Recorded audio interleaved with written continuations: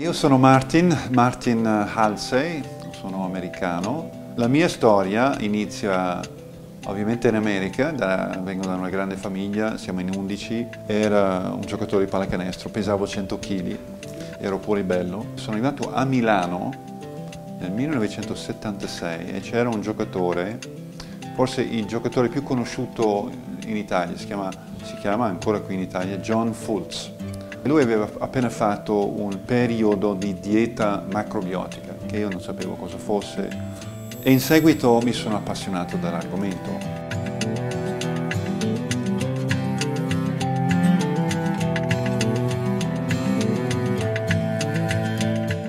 Per chi non conosce la macrobiotica, è fondamentalmente una dieta vegetariana basata su cereali, verdure, legumi, um, cioè tutto è contemplato, non è che esclude a priori tutto, però il meno cibo animale possibile. Sono principi di equilibrio che si, si, si applica ognuno in modo diverso ognuno è un po' come lo yoga.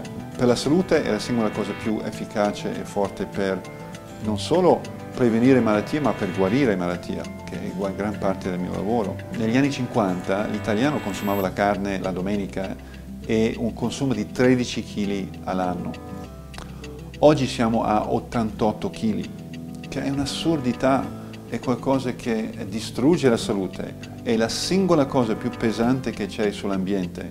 Si consuma più energia per produrre, trasportare, conservare, vendere cibo animale che non tutta la benzina messa insieme per il trasporto sul mondo. Siamo arrivati a un punto estremo tale che chi ha un minimo di intuito, minimo, gli è rimasto un minimo di eh, senso obiettivo di guardare la vita, sta guardando e cercando alternative. Il consumo di tutto, tutto questo cibo animale crea un'attrazione un incontrollabile verso zucchero, caffè, stimolanti, tutta roba che obbliga il terzo mondo a fare delle uh, monoculture.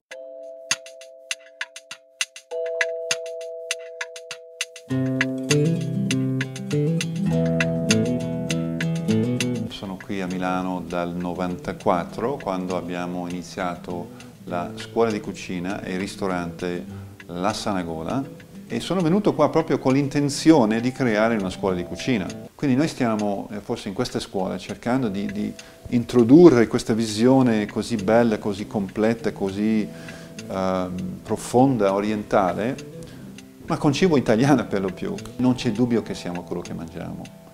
E la, la cosa forse più bella è l'aspetto mentale, uh, l'effetto sulle uh, emozioni, sul comportamento. Io le scelte alimentari le faccio per me.